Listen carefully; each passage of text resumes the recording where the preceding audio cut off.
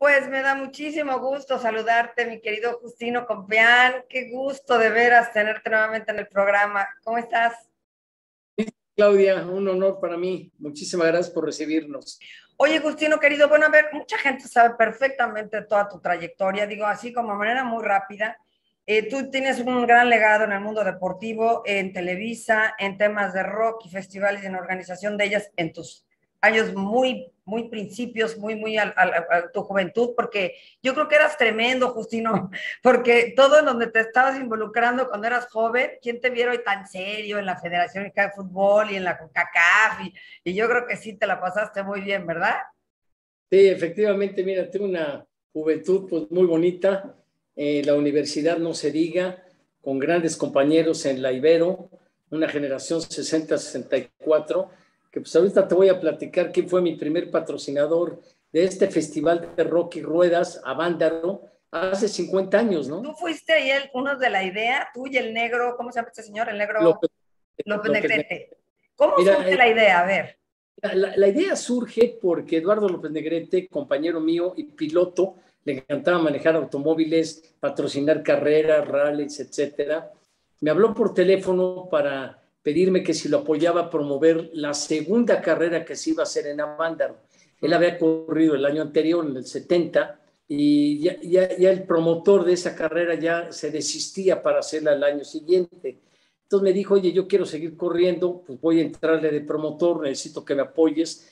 Como publicista que eres, estaba yo en McCann Erickson Stanton, una agencia muy grande de publicidad, manejando cuentas importantes, Coca-Cola, Colgate, Bimbo, Woodier, etcétera. Y la verdad le dije, pues con todo gusto, ¿no? Hacemos la, la promoción de la carrera y buscamos patrocinadores. Dándole vuelta al tema, se me ocurre a mí el por qué no hacemos un festival de rock la noche anterior, porque cuando íbamos con el negro a las carreras, pues íbamos a acampar allá en Avándaro, nos caía la lluvia, diluvios, y la pasábamos a toda, pero aburridos, ¿no? Y le dijo, oye, ¿por qué no hacemos algo la noche anterior? Mucha gente vaya, acampa. Pero pensábamos en dos, tres mil gentes y que pues ya con la invitación a que hubiera un festival de rock fueran 25 mil. Entonces me dice, está muy buena la idea, ¿con quién empezamos a buscar patrocinios? Le dije, pues con nuestro compañero de, de la Ibero y de la generación, que es Vicente Fox. Y Vicente Fox estaba precisamente como director de mercadotecnia en Coca-Cola le llevamos la presentación en tres láminas, pues, no había PowerPoint en esa época, no había esas presentaciones sofisticadas, y la verdad le gustó mucho la idea. Nos dijo, adelante, ¿cuánto necesitan? Pues ya le dijimos cuánto necesitábamos que nos diera un anticipo como capital de trabajo para este evento. En total iba a ser un millón de pesos el patrocinio de, de Coca-Cola, pero te cuento en qué se iba a destinar, ¿no? Eh, pero no sé si nos dio 100 o 200 mil pesos que nos ayudó como capital de trabajo. Eh, en esa época, Claudia, eh, Televisa, antes Telesistema Mexicano, a, a, las agencias de publicidad les vendía el tiempo y ellos podían producir y vender los comerciales como brokers. Tú que estás en este medio sabes muy bien de qué estoy hablando. Entonces fuimos al Canal 4 con el señor O'Farrell, Víctor Hugo O'Farrell, que era el director, también le gustaban las carreras de coches, le encantó la idea de transmitir el domingo la carrera de coches.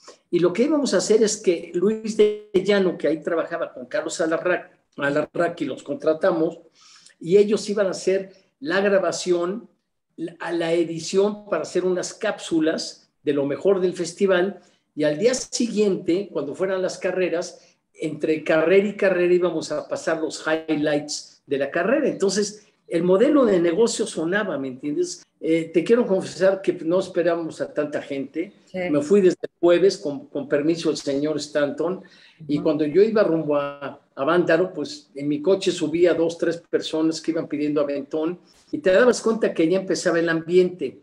¿Por qué? Tú eres de radio también. Y don Julio Velarde, que era el vicepresidente comercial de Radio, de, de radio Fórmula, tenían una estación que era Radio Juventud, Radio Juventud, la 660, me dice, oye, véndeme los derechos de transmitir en, en vivo el, el, concierto. Le dije, mira, no me interesa que me los paguen, mejor dame promoción. Radio Juventud se convierte en Radio Avándaro durante más de un mes y empieza pues todas las tocadas y a promover el festival. Y la verdad eso hace que tanta gente fuera, ¿me entiendes? Había pasado el 68, eh, había pasado en, en junio del, del, 71 lo de los halcones, ah, la juventud también, un poco reprimida. También Woodstock, que también de alguna manera... Pero, qué, qué bueno tocó ese el tema, porque la verdad yo no inventé el hilo negro, lo que hice fue por repetir lo de Woodstock. Dije, vamos a hacer un mini Woodstock, un maxi, un Mexica, Mexiclán Woodstock. ¿no? sí, sí. lo malo es que no fue mini, fue maxi. No, acabó siendo demasiado grande porque yo iba a ser como rock el aperitivo del platillo principal que eran las carreras al día siguiente. Esa es la realidad.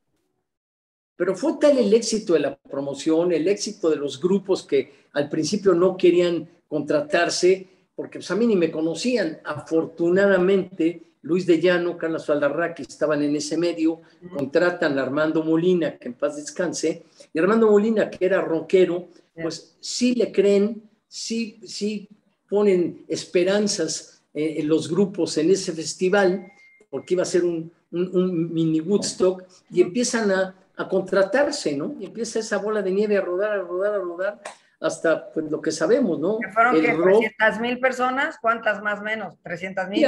Se calcula más de 200, ¿no? Sí se dijo que hubo sexo, droga, rock and roll, todo. Y cuando uno le echa un clavado a esto, pues estamos hablando, algo estaba pasando con la gente joven. Digo, veníamos con el movimiento también del rock en Estados Unidos, eh, no había como tal un movimiento mexicano 100%, sí había ya esfuerzo, los teen tops y esto se entiendo, pero pero ¿qué crees que pasaba con los jóvenes? Porque había un tema ahí también de, pues bueno, de manifestarse, como estás comentando, algo muy importante que no podemos soslayar lo del 68, lo de Woodstock, o sea, había todo un tema. Tú como, tú que eras joven, ¿qué, qué estabas viviendo en ese momento? Honestamente, honestamente no, no hubo ningún tema político. Ok. Pero absolutamente nada. Era un tema de que fueron a escuchar música, a pasarse una velada muy buena, que se les olvidó que al día siguiente había carreras.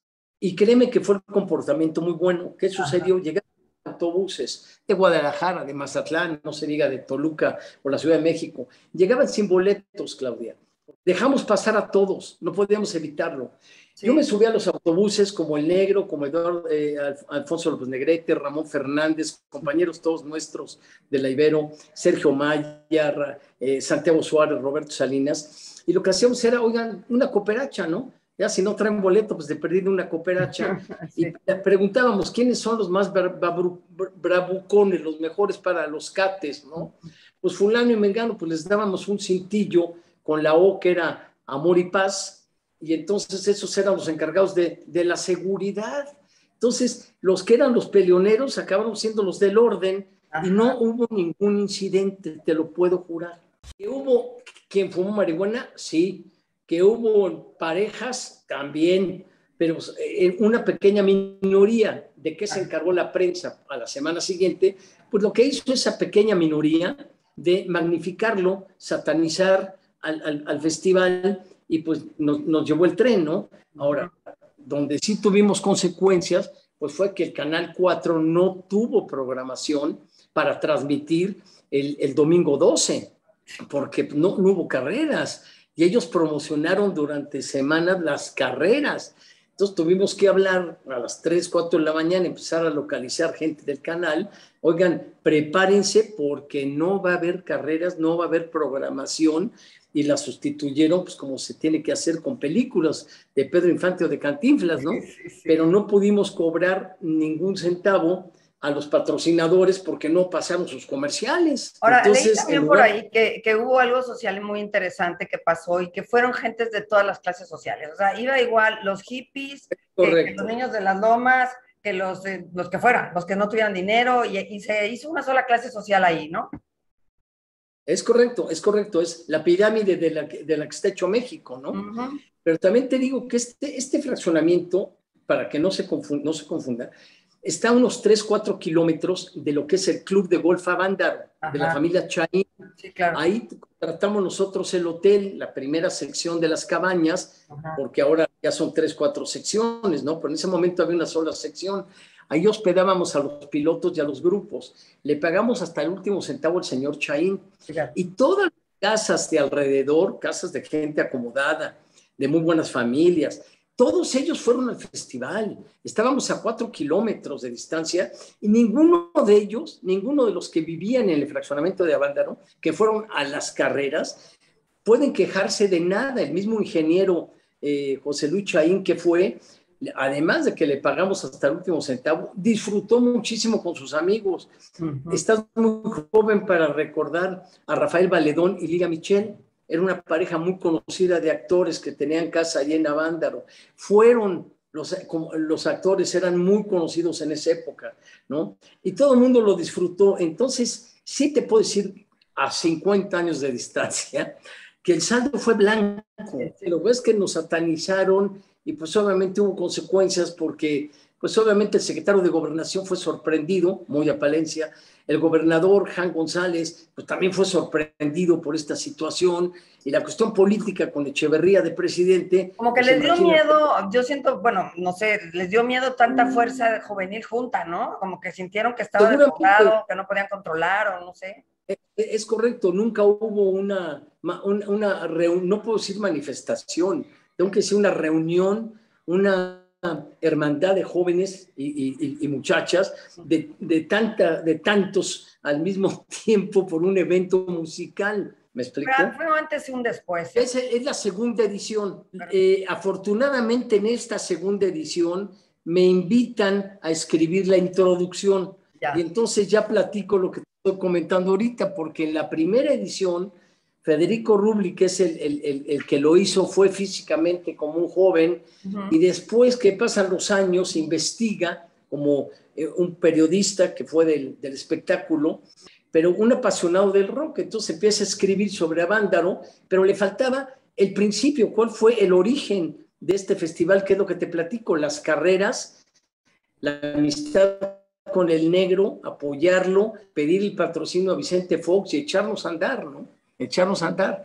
Y afortunadamente saldo blanco, pero claro, yo tuve en lo personal consecuencias porque en la empresa pues, me llamaron la atención, los clientes pues se sintieron que cómo era posible que yo, vicepresidente de Macán, anduviera envuelto en esos asuntos. Bueno, también era el gran apoyo, el gran joven, claro, y además quería ganar dinero, ¿no? Dinero adicional, extra en un modelo de negocio que, podía funcionar para contenido también de la televisora, ¿me explico? Para castigan a partir de entonces, yo entiendo, se vuelve como un castigo a México, a la música, al rock, y, así se pasan 14, 15 años. Y efectivamente, durante muchos años, pues no podían tocar abiertamente, ¿no? Empezaron los famosos eh, eh, lugares eh, en la periferia de la ciudad, en café cantantes, pero muy satanizado de, hecho, entiendo que muchos músicos se quedaron sin trabajo, ¿no? Porque por lo mismo que comentas, ¿no?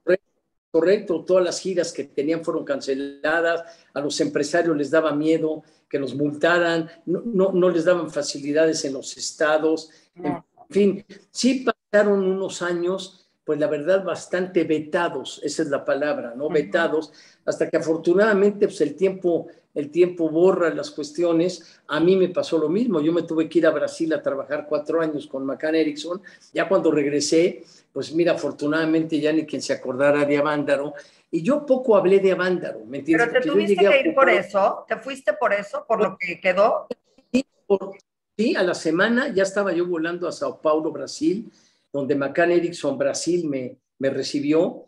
Y la verdad, pues era mejor poner pies de y, echarle tierrita de por medio a que, a que las autoridades fueran a, tomarme a mí como un chivo expiatorio, ¿no? Oye, sin embargo, hoy eres la envidia de muchos, porque haber vivido a Bándaro, pues es un antes y un después. Entonces, yo creo que eso que sucedió entonces ahora está rayado los que fueron, ¿no?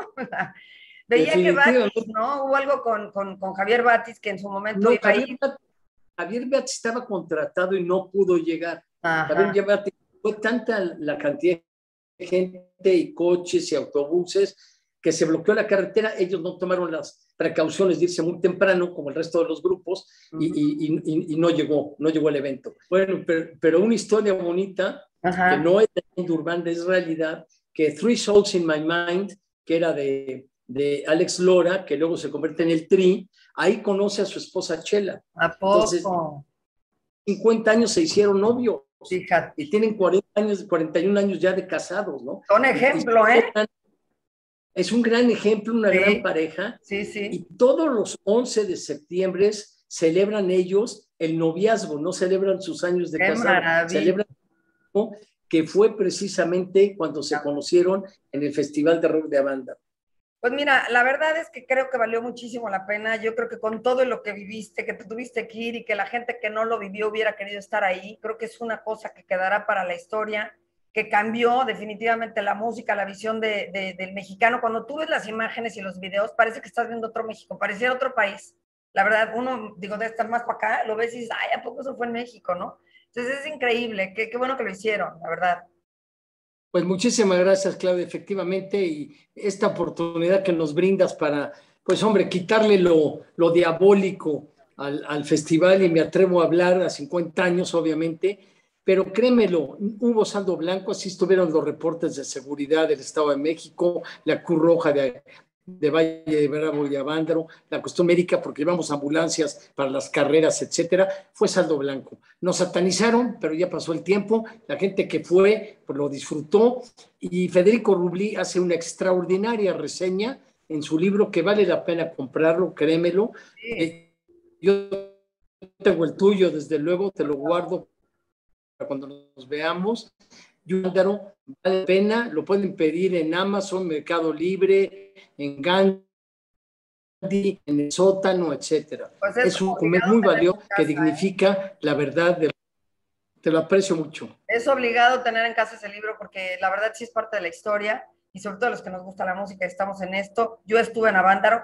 Entiendo os había leído por ahí que estuvo clasificada la información en gobernación y que él, e, e, ese hombre, Federico, que es amigo tuyo, eh, que yo no tengo el gusto, ojalá lo tenga, este, ya que desclasificaron la información, le echó una investigada para poder hacer el libro, ¿no? Entonces... Es correcto, es correcto. se metió a hemeroteca, se metió a los, a los archivos de la Federal de Seguridad, de la PROCU, etcétera. Es una labor de periodista, de investigador extraordinaria. Oye, ¿te suena la canción? Porque vi ahí que la primera canción que se cantó en Avándaro era Avándaro Yeah Yeah, ¿te acordarás? Sí, que encantado, bienvenida. ¿eh? Una que decía Mari, Mari, marihuana. Mari, Mari, Mari, marihuana.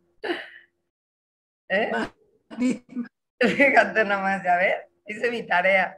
Oye, pues bueno, yo estoy en Avándaro y este libro y a ti te agradezco como siempre, ya sabes lo que te quiero y te ves Muchas gracias te, ves maravilloso, como siempre, un señorote guapísimo, precioso, y te mando muchos besos. Muchas gracias, Claudia. Muy amable por esto y que tengas una linda semana. Bye. Estamos aquí al tanto, ¿eh? Bye, bye. Chao. Hasta luego.